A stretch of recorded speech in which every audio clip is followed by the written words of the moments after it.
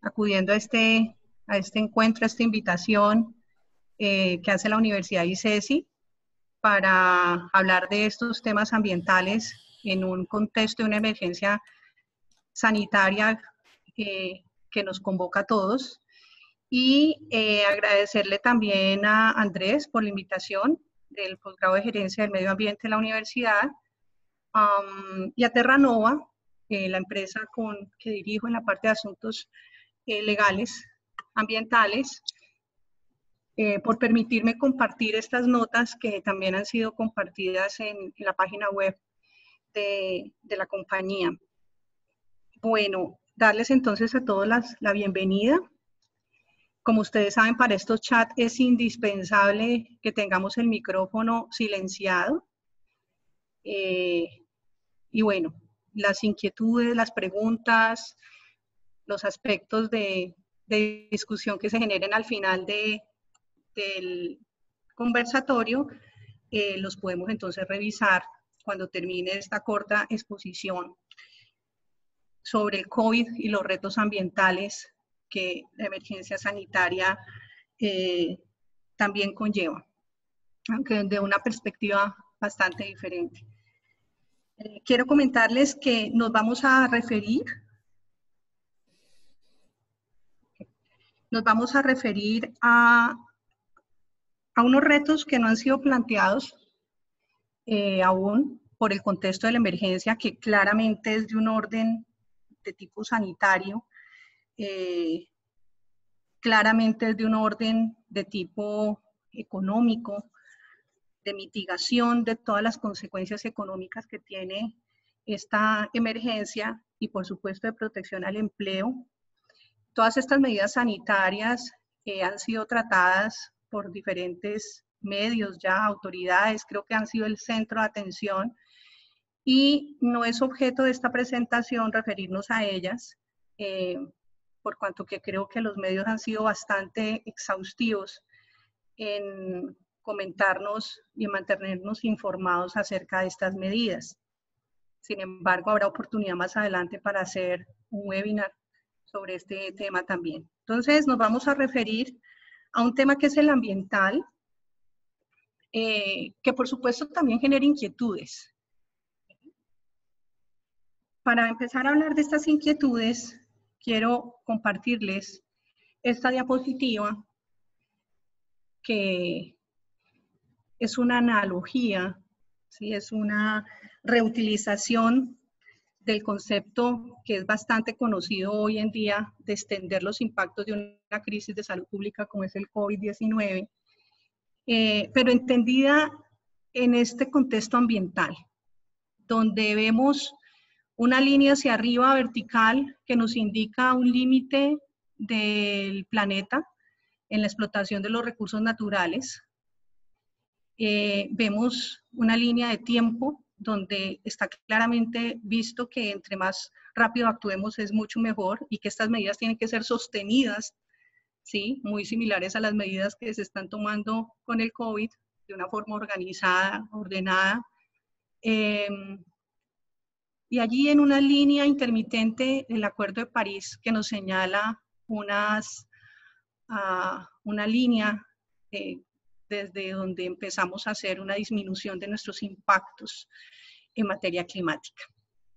Entonces, si vemos este, esta diapositiva que es tomada de una fuente que es Greenpeace Group, una organización privada eh, que se dedica pues a los negocios, la tecnología y la sostenibilidad con más de 180 ejecutivos de grandes compañías vinculados a una red que ella promueve, pues me pareció muy interesante traer la colación porque finalmente eh, hay una semejanza y hay una similitud entre este tema del COVID, la emergencia sanitaria y el tema ambiental, y es que las causas y las consecuencias son muy similares.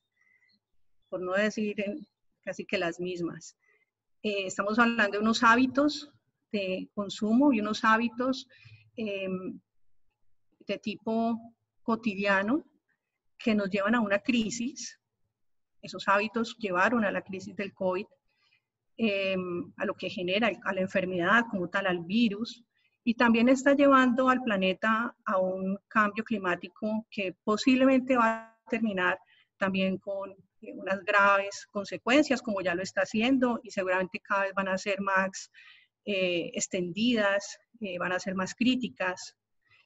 En ese sentido, las causas, los hábitos y las consecuencias, que es la posible desaparición de, desaparición de la especie humana, pues eh, tienen en ese sentido, tienen una semejanza, ¿sí? Y por eso me llamó la atención para traer la colación y ponerla como inicio de esta, de esta reflexión en temas ambientales. Eh, lo que vamos a revisar en esta intervención son las implicaciones de la emergencia sanitaria ocasionada por el COVID-19 y los retos que las medidas suponen tanto para el medio ambiente para las autoridades ambientales y el sector empresarial.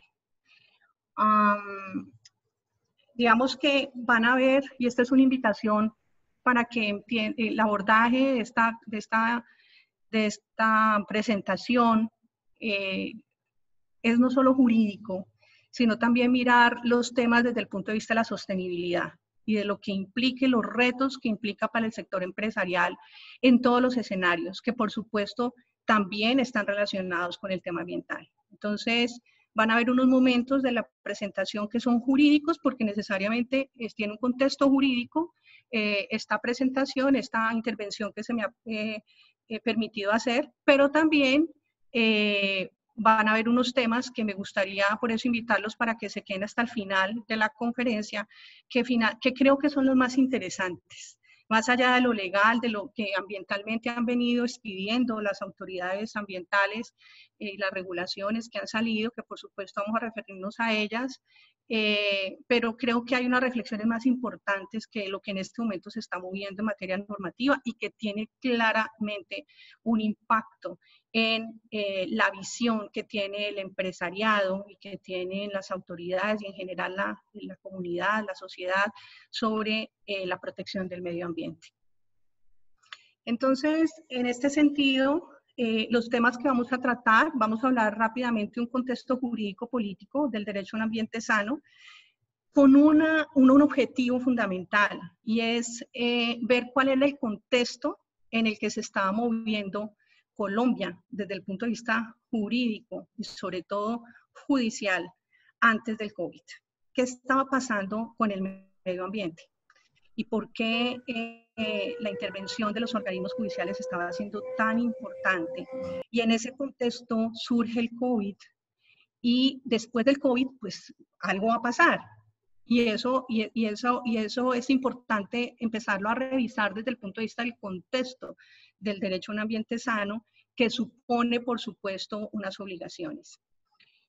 Eh, vamos a hablar de las inquietudes empresariales frente a estas obligaciones en el escenario de la emergencia sanitaria y cómo ha surgido, eh, digamos, una inquietud que es eh, eh, la causal de fuerza mayor como eximente de responsabilidad ambiental, dado que la emergencia sanitaria, pues posiblemente lleva en algunos casos, mm, ciertamente, a, impedir la ejecución de ciertas actividades y de ciertas obligaciones, pero en la mayoría de los casos posiblemente no. Y es un poco aclarar ese concepto de la fuerza mayor que se está eh, que se está invocando en relación con el cumplimiento normativo, con el cumplimiento legal. Eh, vamos a mirar las normas recientemente expedidas, algunas, no todas, por las diferentes autoridades, que están muy referidas al tema de trámites y permisos ambientales que se ven afectados, suspensión de términos, etcétera. Y vamos a mirar eh, también el reto que implica esta emergencia para la vigilancia y control ambiental por parte de las autoridades ambientales. Finalmente, concluir con qué viene después del COVID, es cuáles son los retos desde la responsabilidad social empresarial, donde claramente está involucrado el tema de la responsabilidad ambiental. En ese escenario, eh, y hemos oído mucho en las noticias que el medio ambiente tal vez es el gran beneficiado del, COVID, porque claramente se ven reducidos eh, los índices de contaminación ambiental, eh, pero es importante ver desde el punto de vista jurídico qué significa el medio ambiente y eso en el contexto antes del COVID, antes de que comenzara la emergencia, hasta dónde había llegado ese concepto. Constitucionalmente es claro que es un derecho colectivo eh, que nos pertenece a todos y como tal implica pues eh, unas obligaciones, ¿sí? Como derecho, el artículo 79 constitucional dice claramente todas las personas tienen derecho a gozar de un ambiente sano.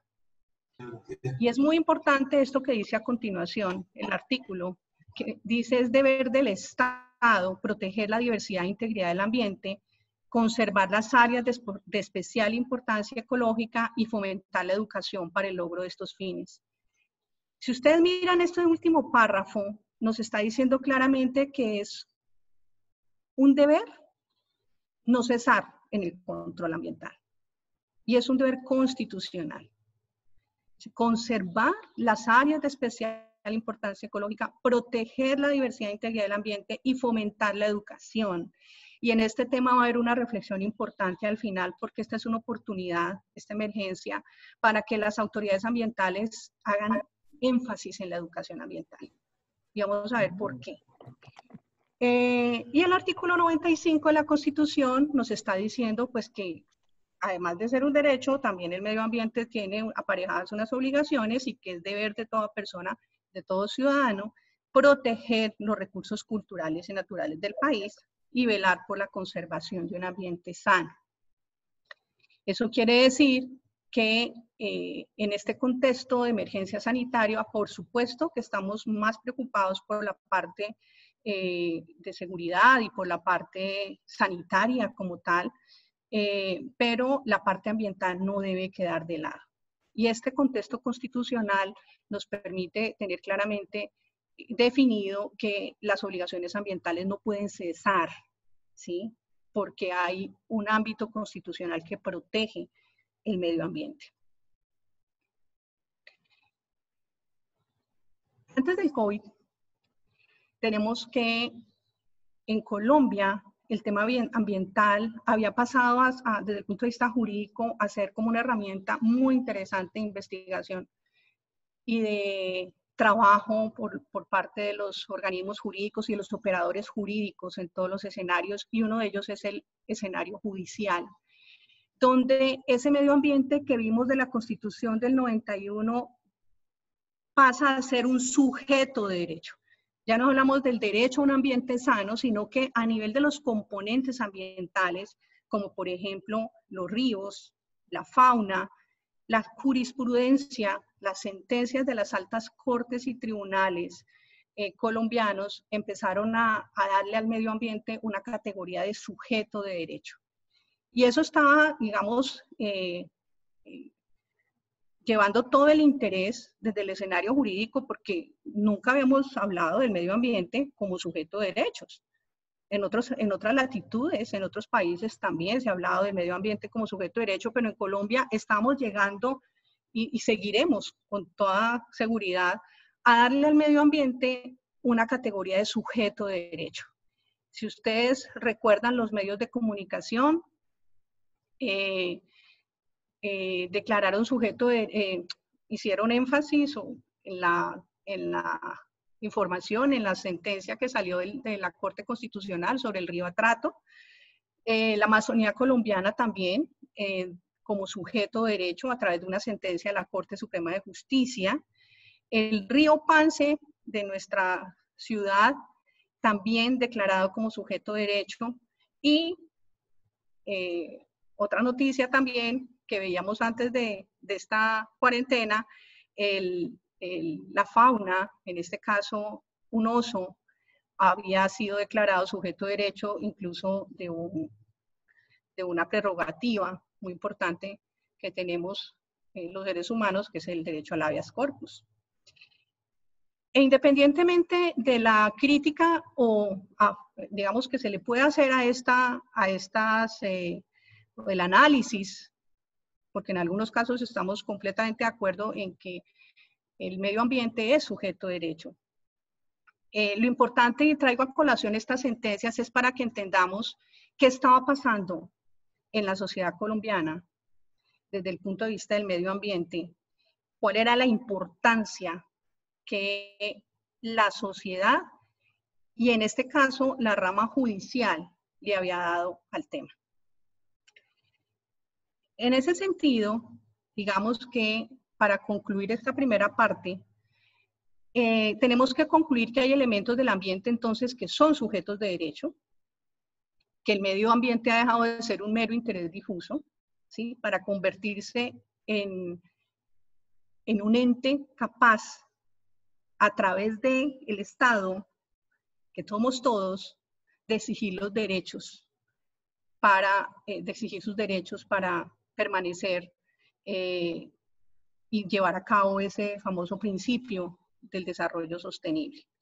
Desde lo jurídico, específicamente a nivel judicial, entonces es muy claro que se ha pasado de una visión antropocéntrica a una visión ecocéntrica.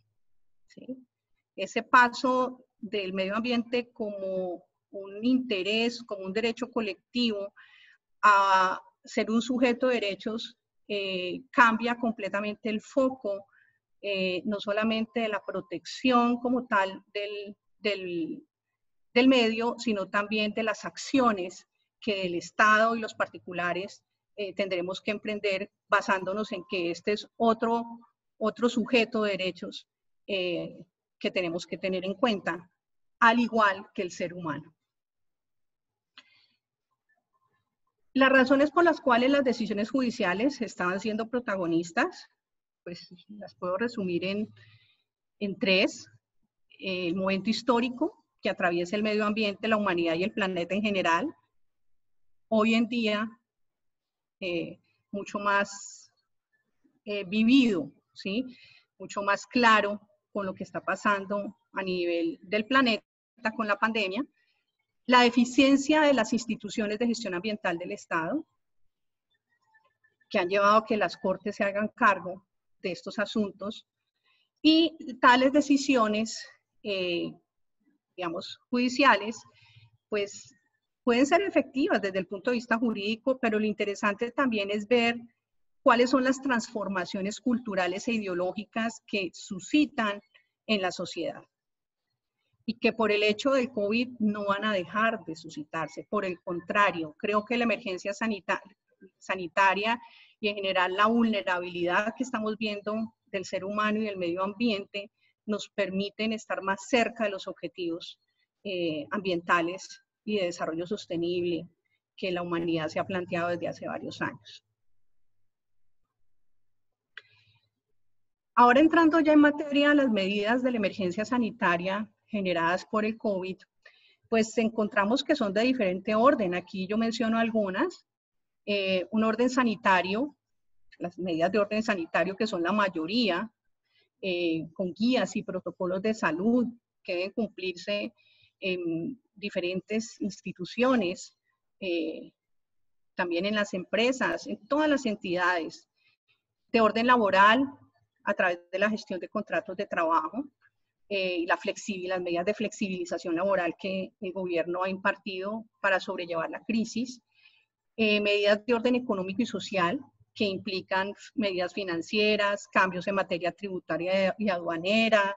O sea, este aparato jurídico, político se ha movido de una manera impresionante. Y por supuesto, la parte ambiental no podía quedar atrás eh, con unas ah, implicaciones en la parte de trámites, de permisos, del derecho al uso de los recursos naturales, que es un poco en lo que se ha enfocado la reglamentación que hasta ahora ha salido de las autoridades ambientales. Frente al sector empresarial, pues se han generado varias inquietudes. de la universidad es ¿Qué dice? Por favor, silenciamos los micrófonos. Em, y las inquietudes, algunas, estoy mencionando algunas, es qué pasa, la emergencia generada por el COVID es una causal de excelente responsabilidad, es decir, puede ser considerada causal de fuerza mayor o caso fortuito. Eh, si yo tengo que operar unos controles ambientales y no lo puedo hacer porque la planta, eh, en el mejor de los casos, para el medio ambiente, digo yo, eh, ha, ha, suspendido, ha parado, o la actividad productiva ha continuado, pero no podemos estar tan al tanto de todo lo que implica operar, hacer los controles operacionales en las compañías. Si llegara a suscitarse una contingencia, el COVID eh, o la emergencia sanitaria generada por el COVID me va a permitir eh, salvar mi responsabilidad. Es un poco una inquietud que surge desde, surge desde el sector industrial sobre todo. Uh, y otras inquietudes relacionadas con cuáles son las, las obligaciones que pueden cesar, cuáles son los trámites y si los trámites que hemos entablado van a quedar suspendidos, qué términos siguen en pie. Es decir, si yo tenía un plazo para hacer una compensación forestal, estoy poniendo un ejemplo, y ya no lo puedo hacer, ¿qué debo hacer? Eh, ¿Cómo me comunico? ¿Qué, ¿Cuáles son las medidas que debo tomar como empresa para evitar los riesgos legales? Entonces, estas son inquietudes que han surgido desde el punto de vista del sector empresarial. Uh, en ese escenario es importante definir lo que se considera desde el punto de vista jurídico fuerza mayor o caso fortuito. Y eh, desde el Código Civil colombiano eh, se ha dicho claramente que la fuerza mayor o el caso fortuito es un imprevisto al que no es posible resistir. Y se dan incluso, incluso ejemplos como el naufragio, un terremoto, el apresamiento de enemigos, que le impiden a uno eh, cumplir con las obligaciones. Alguien decía jocosamente, pues es que la, cuarentena es un apresamiento y el virus es un enemigo pero estamos hablando de situaciones que desde el punto de vista, eh, digamos, de la realidad, nos impidan eh, prever lo que puede suceder. Y desde el punto de vista ambiental, hay muchas cosas que pueden ser previsibles. De hecho, la mayoría de los planes y procedimientos que tienen las empresas están diseñados eh, para operar en casos de emergencia eh, um, y hay unas rutinas muy claras para evitar que la contaminación eh, se salga de los límites. Eh, pero sin embargo, van a haber seguramente cada empresa, cada situación va a ser un caso individualmente considerado por parte de las autoridades para definir si efectivamente esa empresa estaba en un caso de fuerza mayor o, o caso fortuito, valga la redundancia, para eh, poder eximirse de responsabilidad. ¿Qué significa eso de eximirse de responsabilidades? Que no le voy a iniciar un proceso sancionatorio ambiental como autoridad, ¿sí? pero eh, vuelvo y digo, este, este contexto de aplicar esta, esta eximente de responsabilidad tiene que ser muy bien analizado eh, y muy bien soportado por parte de las compañías. Porque hay dos requisitos muy puntuales y estrictos, que son, uno, el hecho que tiene que ser irresistible e imprevisible, eh, y para que la autoridad exima de esta responsabilidad, pues, eh, al usuario por el incumplimiento de la obligación, esto tiene que estar claramente probado y demostrado. En principio, entonces la situación de emergencia generada por el COVID no es una causal per se de fuerza mayor, ¿sí? que impide el cumplimiento de obligaciones ambientales. Los registros, las renovaciones de derechos ambientales otorgados, los informes de cumplimiento ambiental y en general todas las medidas de manejo ambiental fruto de planes y procedimientos deben seguirse efectuando en procura de mantener pues, los estándares de cumplimiento ambiental. Eh, las autoridades ambientales analizarán cada situación particular y definirán si técnicamente es o no viable el cumplimiento de estas obligaciones. Digamos que una recomendación es que las empresas pregunten a través de los canales institucionales que han sido habilitados por las autoridades, eh, los correos electrónicos y todo lo, que ya ha sido difundido, que ahora vamos a ver alguna de estas normas, eh, pues le permitan al usuario poder preguntar acerca de eh, ciertas obligaciones que de alguna manera generen inquietud con respecto al cumplimiento porque implican una actividad física o una eh, comportamiento, en, un cumplimiento en planta, en campo, que no pueda realizarse por la suspensión de actividades o por la imposibilidad del desplazamiento de los empleados a las empresas. No se puede entonces confundir la fuerza mayor o caso fortuito con la negligencia o la incompetencia, porque hay escenarios que efectivamente sí pueden ser previsibles y sí pueden ser soportados y pueden ser manejados por parte de las compañías.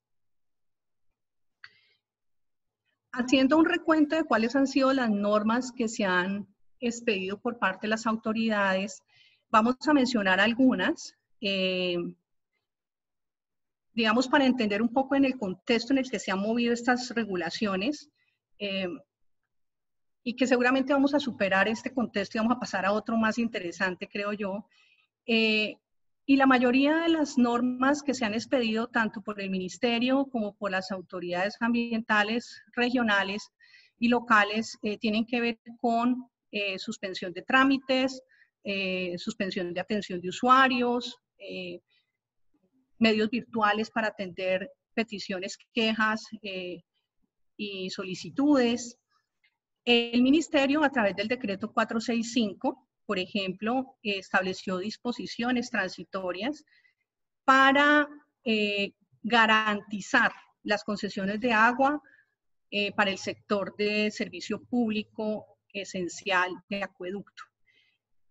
En estas medidas lo que el ministerio pretende es extender la vigencia de estas concesiones en caso de que estuvieran a punto de vencerse para que no hayan problemas de legalidad en el uso y aprovechamiento del recurso.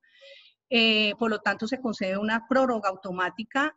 Eh, otra medida es que no se cobraría por, la tasa eh, por uso del agua, que obviamente va a estar excedido en estos contextos y en estos momentos por la cantidad de actividades que implica eh, la atención de la emergencia. Mm, y eh, se habla de algo muy importante a lo que apenas le estamos poniendo atención y es al, el tema del manejo de los residuos biosanitarios y biomédicos que en el caso de la norma del ministerio se plantea la posibilidad de habilitar eh, mediante una modificación de la licencia ambiental a ciertos gestores para que puedan eh, hacer el tratamiento de estos residuos y contribuir a, las ah, soluciones que implica esta emergencia sanitaria y por, por supuesto la excedencia en la generación de este tipo de residuos. En ese sentido, digamos, el, el ministerio es eh, tal vez la primera autoridad que que expide este, este tipo de disposiciones transitorias, pero muy importantes para garantizar eh, el, agua, que, era, que, es también, que es uno de los elementos que más está ambientales, que más está eh, aportando a la solución de esta problemática y de esta crisis. En la resolución 319, por ejemplo, eh, se refirió a las funciones administrativas a la recepción y respuesta de manera virtual, ampliación de términos para atender peticiones de parte de los usuarios, viabilidad de nuevas solicitudes de trámites ambientales sujetos a verificación de necesidad de visita técnica, so pena de suspensión de términos y continuación de trámites en curso, suspensión de visitas técnicas de seguimiento salvo situaciones de contingencia ambiental o riesgo. También se refirió a la suspensión de términos en los procesos sancionatorios si no se han practicado pruebas y a notificaciones por medios electrónicos, registros, reportes e informes ambientales, eh, los cuales dice claramente la, disposición, la, la resolución, siguen en firme. En este sentido, eh, es interesante, me gustó y a diferencia de otras resoluciones que han salido de otras autoridades para atender este, estos, este tema de los términos y demás, eh, que el ministerio hace énfasis en que a menos de que se requiera visita técnica, todos los trámites deben seguir adelante. y me llama la atención y lo, y lo resalto porque en este momento necesitamos que las autoridades ambientales también contribuyan a, la legalidad de todas las actuaciones eh, que están en trámite en sus, en sus respectivos eh, instituciones, en sus respectivos recintos, porque tenemos muchos trámites mm, que tienen muchos años que posiblemente vean la luz eh, después de esta cuarentena eh, y que eh, si no requieren esas visitas técnicas, pues sería importante que tuvieran un desarrollo y pudieran llegar a, a, un feliz término. Esto pues en favor obviamente del derecho de los usuarios de acceder a sus solicitudes, de tener una clara respuesta de parte de los entes ambientales y por supuesto también en favor del medio ambiente, porque si estamos hablando de sanciones, eh, pues el medio ambiente está en espera de que éstas se hagan efectivas. En los términos sancionatorios se menciona también que se puede seguir adelante con aquellos siempre, y cuando que se hayan practicado pruebas. Si no se han practicado pruebas, se suspenden los términos. Vamos a ver ahora una reflexión sobre estos temas de, al final de si son necesarias o no las prácticas de pruebas y las famosas visitas y conceptos técnicos que también, eh, digamos, es sujeto de revisar en este contexto. Otros ejemplos de medidas sanitarias que han tomado las autoridades, eh, y vuelvo y repito, yo estoy hablando solamente de temas, perdón, de medidas ambientales. Eh, solamente estoy hablando de temas de resoluciones y normas ambientales si, abordamos el tema de seguridad, salud eh, eh, y todas las disposiciones que han sacado y salido de diferentes ministerios, eso es objeto de otra, de otra intervención, porque el tema sanitario sin duda es el más importante en estos momentos, pero estamos hablando del tema ambiental.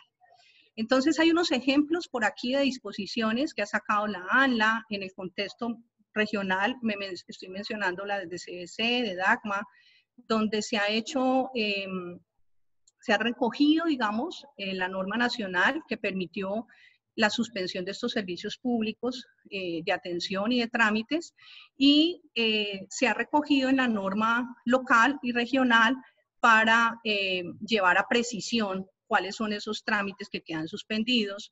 En el caso, por ejemplo, de la CBC, se ha hablado de una restricción, de una, de menguar a una tercera parte los tiempos para solucionar el tema de concesiones. Eh, y en general esto ha tenido un impacto en, todo lo que es trámite y todo lo que es, eh, mm, digamos, eh, las actuaciones ambientales y administrativas que venían siguiendo las autoridades. me llama la atención, por ejemplo, la disposición de la CBC de suspensión de términos de actuaciones que implican también, eh, que implican visitas y se refiere también de manera concreta a los planes, eh, a los planes de gestión integral de residuos sólidos, los planes de contingencia para atención de derrames, respecto a los cuales también se suspenden eh, los términos para la revisión de, estas, de estos planes. Se exceptúan de la suspensión de visita los casos de denuncia por infracciones ambientales quede muy claro entonces que si hay una infracción y alguien o la comunidad hace una denuncia, eh, no hay suspensión de visitas. O sea, obviamente me imagino que la corporación analizará cuál es el riesgo más alto de, de enviar a sus funcionarios a campo y medidas de atención de fauna silvestre también. O sea, es una disposición un poco más completa en términos de los diferentes temas que aborda con respecto a otras disposiciones, pero todas giran en torno a esto, ¿sí? a suspensión de términos, a eh, exceptuar de la suspensión, eh, llevar a suspensión aquellos trámites que implican visitas técnicas eh, y facilitar, en la mayoría de ellas, hay un listado de cuáles son los correos electrónicos y medios virtuales por el cual las autoridades ambientales van a seguir atendiendo los derechos, las peticiones y en general pues las solicitudes que hagan los usuarios. Hay unas recomendaciones entonces para la industria y la empresa en general en relación con, con este tema de las medidas que han sacado las autoridades eh, con la aplicación de la interpretación que se puede hacer del, del, del evento de fuerza mayor o caso fortuito, eh, y todo depende de varias cosas. Una, si la planta, si hay una operación normal en la compañía o si las plantas están paradas, porque digamos el, escenario de revisión de los permisos y de los planes y procedimientos es distinto y mirar eh, cuáles son los impactos eh, versus las obligaciones que tenemos que presentar, presentar, ante las autoridades. Si la planta está parada, van a ser unos, unas, eh, digamos, eh, gestiones o unas comunicaciones muy distintas a si la planta está en actividad. Y que en estando en actividad pudiera llegar incluso a un incremento de producción, como está pasando en algunas actividades manufactureras que están atendiendo la producción de de elementos que, que están para atender la crisis. Entonces, hay incremento en algunas empresas de producción. En ese escenario, eh, la recomendación es obviamente revisar los permisos que están vigentes, mirar cuáles son los procedimientos o los tipos de comunicaciones que exigen las autoridades para que eso se haga en legalidad, o sea, para que haya una adecuada comunicación y retroalimentación de la autoridad al respecto. Eh, revisar los términos de los permisos y las licencias que tienen en este momento vigentes para eh, saber muy claramente cuáles quedan en suspensión, eh, en qué términos y en qué etapas estaban esos permisos para poder solicitarle a la corporación que si estaban en una etapa avanzada y no requieren visita técnica, por el contrario, proceda a emitir el derecho.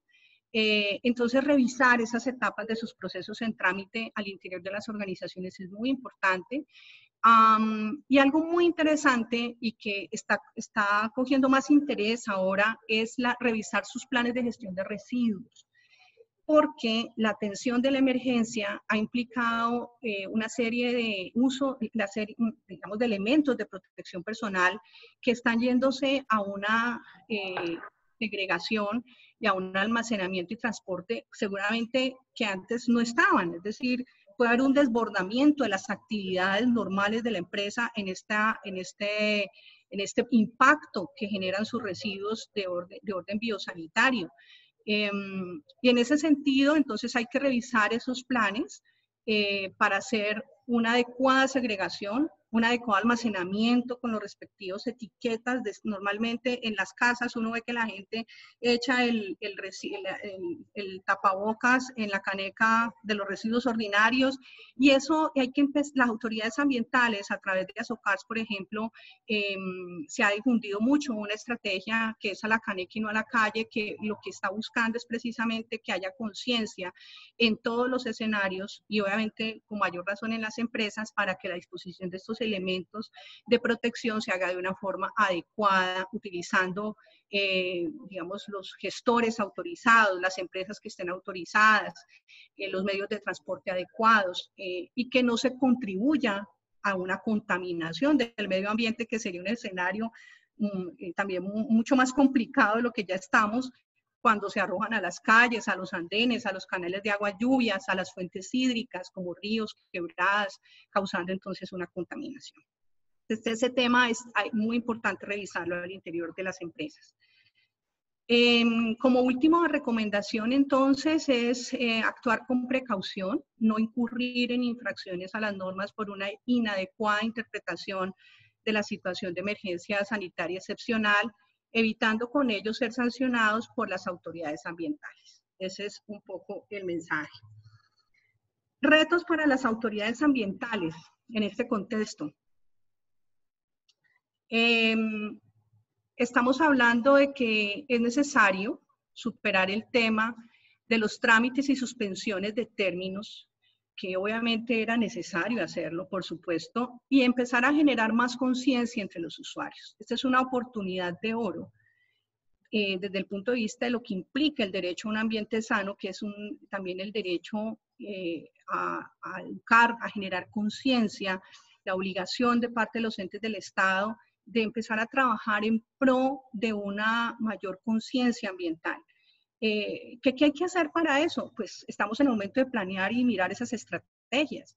porque el control y seguimiento ambiental puede haber cesado en algunos aspectos, pero se abren unas oportunidades inmensas de autorregulación y de autogestión que deben hacer las compañías de la mano, ¿por qué no?, de iniciativas de autoridades ambientales, de las autoridades ambientales en un esquema de responsabilidad social. Entonces, eh, digamos que vamos a pasar a otra etapa. O sea, las autoridades no van a quedar solamente en este tema de, de trámites y suspensiones de términos, ah, sino que tienen que empezar una dinámica y posiblemente van a haber unas repercusiones en sus planes eh, de acción, en sus planes de gestión, para enfrentar con una nueva mirada la sociedad que viene después del COVID-19.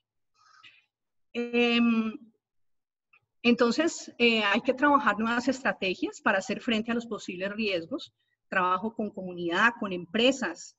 Em, el acceso a la virtualidad también es un reto de parte para las autoridades, tener claros procedimientos de notificación de los actos administrativos, porque eh, eh, así como la atención de peticiones y quejas por estos medios, porque digamos que si bien las las normas antitrámites nos han permitido hacer uso de estos medios eh, tecnológicos, eh, debe estar muy claro cuando un acto administrativo queda notificado o no, para poder hacer uso de los recursos y de los términos de ley que conceden estos mismos.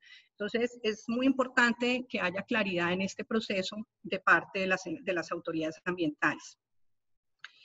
Y por una razón muy importante, y es que esta, este tema de las notificaciones de los actos administrativos tiene que ver con un derecho fundamental, que es el debido proceso y el derecho fundamental de participación de la ciudadanía, que, que lleva aparejado el derecho a la información ambiental. Cómo las autoridades están brindando hoy la, información, eh, las solicitudes que están haciendo los, los usuarios, entonces, el accionar de la autoridad se ha volcado eh, posiblemente eh, hacia unos ámbitos diferentes y hay que interpretar cuáles son esos ámbitos y en dónde pueden hacerse las autoridades hoy en día más fuertes y en dónde están las oportunidades de mejorar eh, su, su, esquema de, de, regulación y su, este, su esquema de, de, control y de seguimiento ambiental.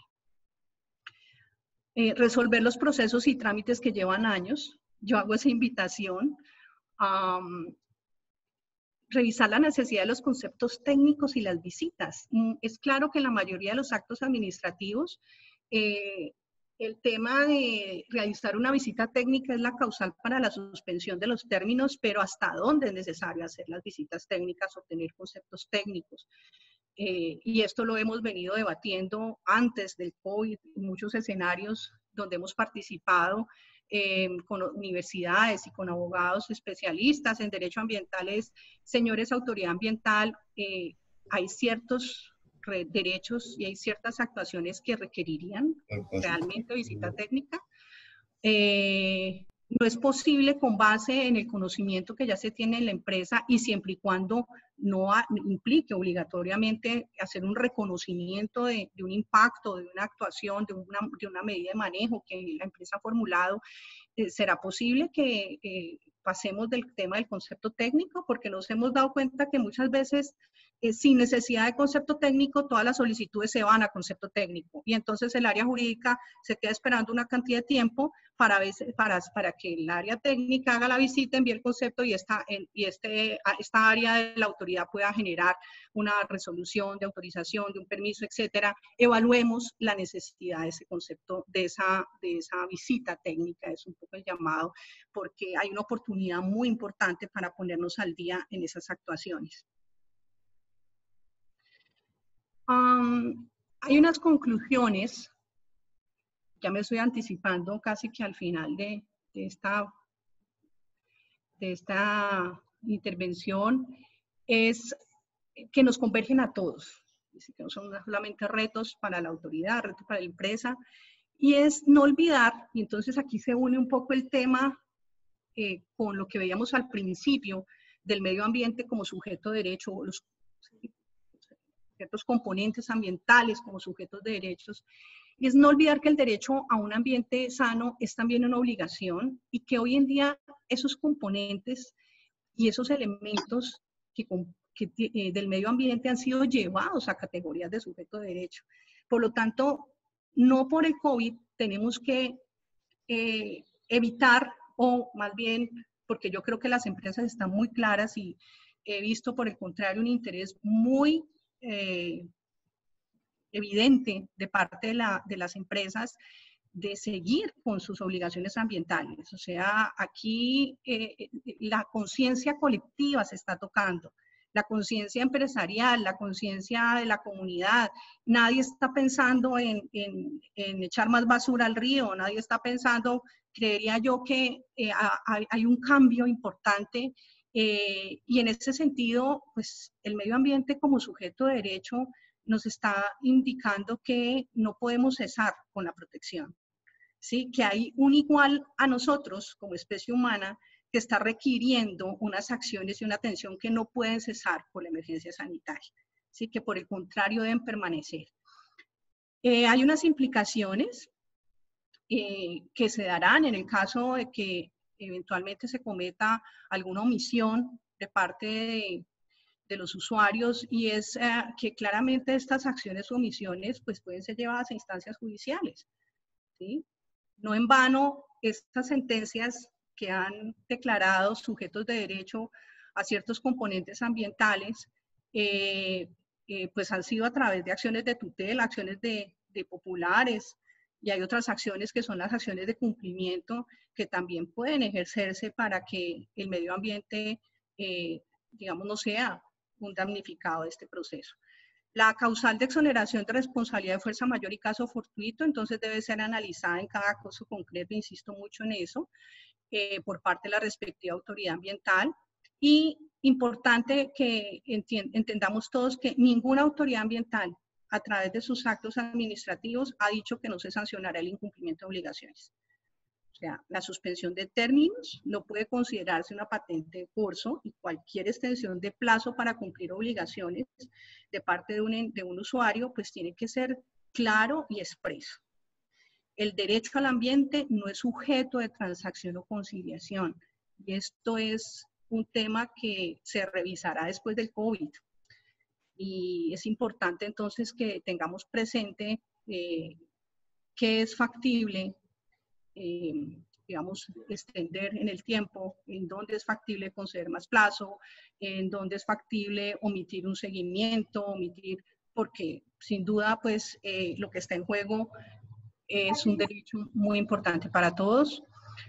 Ahora, es ah, importante, y yo creo que así lo han visto la mayoría de las empresas, es que lo que está en juego también es la responsabilidad social empresarial.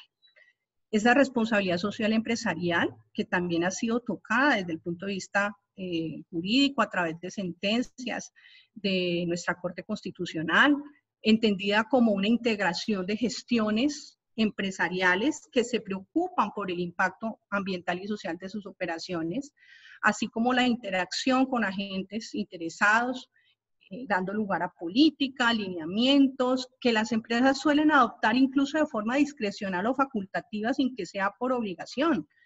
Y viene una pregunta clara y es, yo debo cumplir también con mis metas y mis objetivos que son eh, em, que no son fruto de obligaciones, sino que son voluntarios. yo creo que el llamado que hace la responsabilidad social empresarial y este que, que no es un mero concepto, es, una, es algo vivo, es algo que, que las empresas están abanderando, muchas de ellas, es que es el momento para hacer efectiva esa responsabilidad social empresarial. Y lo estamos viendo en Colombia con las medidas que se están tomando en favor del empleo, tratando de de, de, evitar que el impacto económico de esta crisis eh, pues se lleve, se lleve al traste el capital más importante que tienen todas las empresas, que es el capital humano. De manera que el medio ambiente también, ¿sí? Y hace parte de esa responsabilidad social empresarial. En ese sentido, pues el artículo 333 de la Corte Constitucional, que del, la, de, perdón, de la Carta Política, eh, pues ha sido desarrollado por la Corte y quería traer a colación esta, esta reflexión que nos trae eh, esta, esta alta corporación mm, que nos, digamos, nos indica que la empresa tiene eh, una función social y una función ecológica y una función ambiental muy importante que no puede soslayarse en este escenario y en este contexto. Eh, ¿Qué es lo que viene y cuál es la invitación eh, que estamos haciendo desde nuestra asesoría como empresa, eh, como Terranova y también desde la academia y desde la docencia en general, donde lo que queremos es compartir eh, conocimiento y además generar conciencia y reflexión, es que em, es un momento muy importante este que estamos viviendo para la planeación de las empresas. Si bien muchos planes de continuidad ya deben estar activados, con toda seguridad, los planes de continuidad de las empresas, de negocios que tenían las empresas, los que no las, las que no las tenían deben estar haciendo en este momento eso. Precisamente es el momento de planear, de cerrar las brechas de indicadores y estándares que nos hemos trazado en las organizaciones. Es el momento de hacer assessment y establecer los planes de acción a 2030 porque las, los objetivos de desarrollo sostenible de los cuales hace parte Colombia eh, que son los objetivos de todos los países que están alrededor de las Naciones Unidas, pues no pueden pasar desapercibidos para las empresas ni para las organizaciones. Entonces, ¿cómo adecuo? Y si ustedes miran esos objetivos, esos 17 objetivos de desarrollo sostenible, tienen que ver con lo que está sucediendo. Tienen que ver con una reducción de la pobreza, tienen que, tienen que ver con la salud, tienen que ver con, em, con la paz, tienen que ver con la, diferentes, digamos, son diferentes en, términos de residuos, de la parte de energías, de la, de la parte hídrica. Eh, son planeaciones que tienen que hacer las empresas para adecuar sus objetivos y sus estrategias en torno a estos objetivos y es un momento muy importante entonces para esa, para esa planeación. Em, es muy importante tener en cuenta que la preocupación por el medio ambiente, desde mi percepción, y seguramente la de varios, cobrará más fuerza después del COVID, la comunidad del consumidor están siendo mejor informados. Y esto es esto, esto que está pasando con la emergencia sanitaria también nos está generando un mayor eh, conciencia y mayor conocimiento en la gente. El COVID fue inesperado y temporal, pasará seguramente, pero el cambio climático no. ¿sí? El cambio climático, por el contrario, eh, se, va, se, va, incrementando poco a poco la crisis con unos efectos posiblemente catastróficos, eh, pero la gente tiene, digamos, una mayor fuente de información, tiene más conocimiento y más interés por lo que le está pasando al mundo y al planeta. Eso hará más presión sobre las autoridades ambientales para que haya mayores controles y crecerán los riesgos ambientales y legales para las empresas. O sea, las empresas deben estar preparadas para una nueva sociedad, para una nueva comunidad, para una nueva percepción del riesgo. Ver el COVID como una oportunidad para ser más resilientes y competitivos ante la agudización de los problemas climáticos las empresas que sobrevivirán serán aquellas que puedan mostrar sus buenas prácticas ambientales a los consumidores, eh, porque todos queremos evitar que la especie humana se extinga. Y en ese sentido, eh, todo lo que se haga en favor del medio ambiente, pues va a ser mucho más valorado. Desde la economía circular se proponen nuevos retos para las empresas, no solo en términos de aprovechamiento y valorización de residuos, sino en términos de energía, de agua, eh, la Comunidad Europea en su política de economía circular eh, ha adoptado medidas tan importantes como por ejemplo, en estos días leía yo unas noticias que llegaban de Bruselas desde, desde el convenio de cambio climático, donde eh, se decía que Bruselas le estaba apuntando a disminuir o pedir eh, a las empresas que eliminen la obsolescencia programada y hacer que los productos, eh, digamos, duren más. Em, y que en el caso en que ya definitivamente no puedan ser usados, se recirculen y se reciclen. O sea, llegar a ese nivel de exigencia es lo que la humanidad y el mundo entero está esperando. Entonces, en contexto de la política de economía circular, eh, nos permite pensar en un nuevo país, en una nueva forma de hacer, eh, de producir, ¿sí? en una nueva forma de, de, de revisar nuestras, nuestros ciclos de producción. La empresa y gobierno yo creo que después de esta crisis tienen que sentarse, incluso desde ahora, acordar incentivos para las empresas sostenibles que reduzcan su huella climática. En Colombia tenemos unos cuantos beneficios tributarios, de los cuales las empresas han hecho, no muchas, la verdad.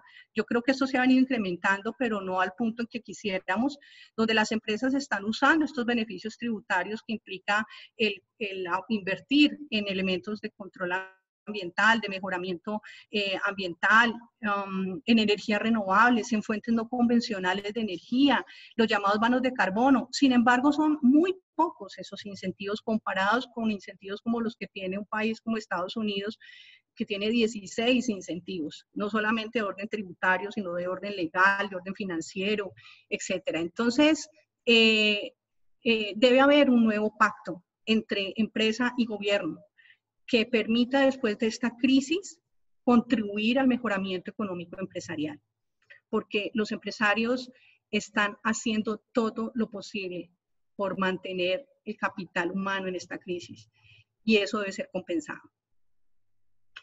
Em, dos cositas para terminar de reflexiones. El 17 de marzo, eh, o sea, hace días recientemente, salió esta noticia en, en una publicación de las Naciones Unidas. Dice, el crecimiento de la población y del consumo mundial nos acerca cada vez más a una crisis de recursos. La única forma de responder es desacoplar el crecimiento económico y la extracción de recursos primarios. Según las estimaciones de la Comunidad Europea, en los próximos 40 años se duplicará el consumo global de materiales como carburantes fósiles, biomasa, minerales y metales, y la generación anual de residuos se disparará en un 70%. La crisis que viene es mucho mayor a la que estamos.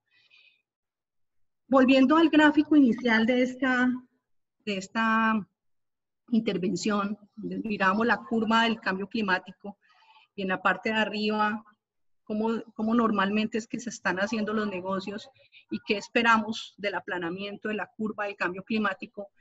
La pregunta es, em, ¿podemos extender ese gráfico, es decir, aplanar la curva del cambio climático y hacer que sea tan omnipresente, entendido y aceptado como lo es para el coronavirus?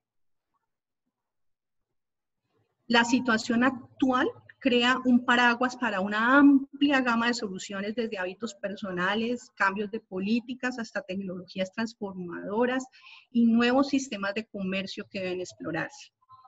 Por lo tanto, por eso hablamos de que es el momento de la planeación, es el momento de los assessments, es el momento de pensar y repensar, redimensionar la empresa y la economía global.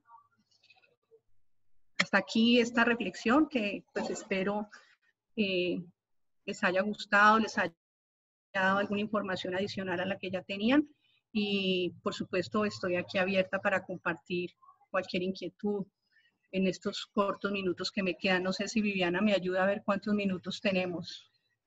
Eh, cinco minutos más, profe. Ok, entonces yo creo que podemos abrir las preguntas. Voy a tratar Exacto. de salir para mirar si por aquí me llegan las preguntas, chat. Ok, entonces, miremos.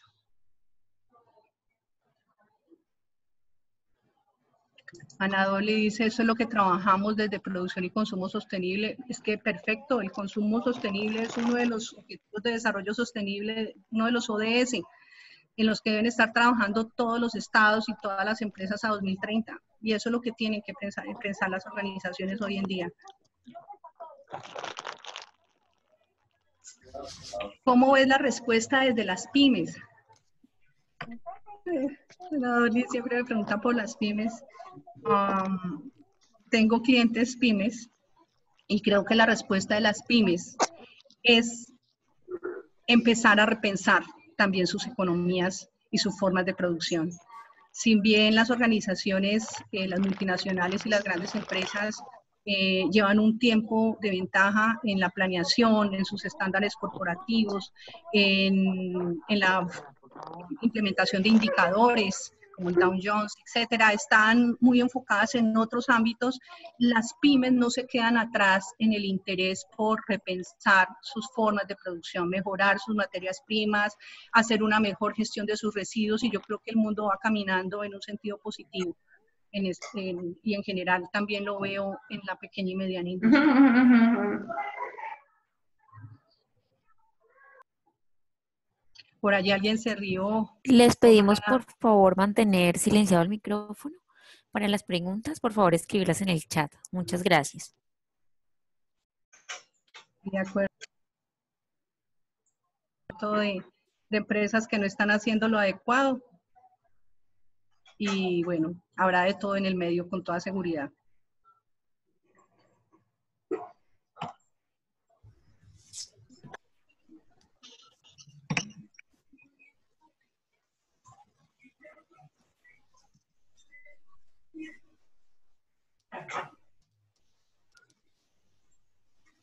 Por aquí hay una pregunta, dice, el impuesto al carbón está siendo fuertemente alterado y cómo de esto dependen muchos proyectos ambientales. Por favor, silenciemos los micrófonos. Se pueden escribir por el chat las preguntas. Ah, y esto depende de muchos proyectos ambientales. ¿Qué crees que va a pasar? Pues yo creo que el tema del impuesto al carbono, eh, en este momento, por la crisis que está estableciendo, que está pasando el planeta, pues eh, posiblemente y obviamente va, no sé a nivel de Colombia, que tantas afectaciones, por lo menos desde el punto de vista jurídico, vaya a tener, eh, pero creo que por supuesto van a haber unas implicaciones globales que van a tener una, una consecuencia sobre las regulaciones nacionales y pues esperemos que va a pasar. La verdad es que eh, sobre ese tema está todo por suceder, pero obviamente todo esto va a tener una repercusión en, en, las formas como, más que, digamos, también por la crisis que tiene el, petróleo en estos momentos y, la, y en general, digamos, el reto que tienen las, los países para eh, generar energías alternativas que permitan eh, el uso de, otros, de, otras, eh, de otras estrategias de generación de energía. Entonces, creo que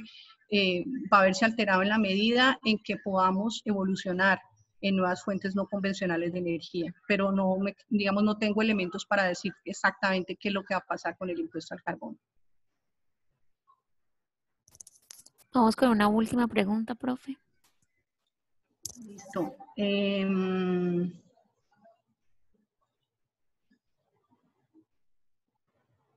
bueno, aquí también hay otra pregunta que dice, en caso Dice, desde los plazos que da la autoridad ambiental ha dado a algunas empresas para entrega de informe de algunos planes de trabajo, ¿crees que las autoridades ambientales realizan cambios, no otorgues prórrogas? La invitación es que consulten las normas que cada autoridad ha sacado en sus respectivos eh, páginas web institucionales, porque ahí te están diciendo claramente que a qué le van a dar plazo y a qué no cuáles son los términos que se suspenden, cuáles son las actuaciones que se suspenden y en caso de que no quede claro, lo más importante, hacer la consulta directamente a la autoridad ambiental. Eso es lo que te va a impedir generar un riesgo de incumplimiento por, porque hay un vacío o hay algo que no ha sido entendido desde el punto de vista de las obligaciones que deben seguirse ejecutando. Bueno, les agradezco a todos eh, la, la participación, las preguntas, no sé si Viviana me las pueda mandar, las que quedaron ahí, para que podamos seguir hablando un poco del tema. y les agradezco a todos pues por, eh, por haber atendido esta invitación y espero, esperamos todos tenerlos eh, en otras conversaciones más adelante.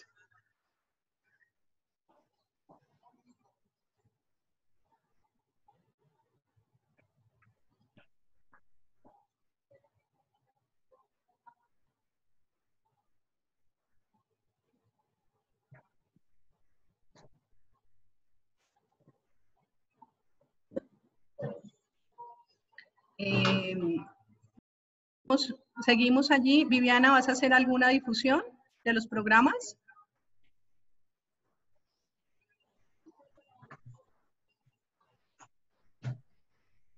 Por aquí hay intervenciones súper chéveres. Dice Alexandra Izquierdo, qué bueno que sería que Colombia generara normas necesarias en el ámbito ambiental así tan rápidas como lo ha realizado para el COVID. eh, el cambio climático no da espera. No sabemos si van a ser tan rápidas, pero ojalá si fueran, porque es ahora o nunca. Acuérdense de la curva, ¿sí? que esa curva nos dice que tenemos que, el tema, el factor tiempo es vital, así como lo es frente al COVID, lo es para el cambio climático. Profe, sí, efectivamente, em, agradeciéndoles a todos por la asistencia. Eh, les dejamos el correo de Mercado Educación Continua por si tienen alguna duda eh, puntual. Adicionalmente, el sitio web donde se publicará este video a más tardar el próximo viernes de la otra semana, después de Semana Santa. Les dejamos también nuestros números de contacto. Eh, recuerden que la Universidad de ICESI a través del Centro de Educación Continua brinda apoyo en consultorías y capacitaciones para empresas también diplomados y seminarios a todo el público y nuestros programados en medio ambiente, gestión de calidad, eh, ingeniería industrial e innovación social. Eh, los dejamos, muchísimas gracias por haber asistido y esperamos eh, encontrarnos en una próxima oportunidad. Muchas gracias a todos. Muchas gracias. Hasta luego. Mil gracias, profe. A ustedes.